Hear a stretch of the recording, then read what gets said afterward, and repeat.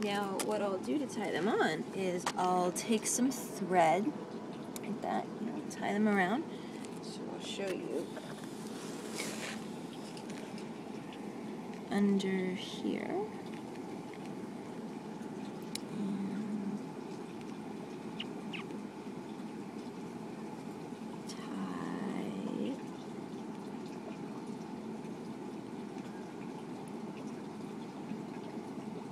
there. And they're attached to the top just with web. So it's actually okay to pull downward and away. And the web will come off. Ooh, not too much. And then I'll just sort of ball that up. And then tie this chrysalis onto the tree.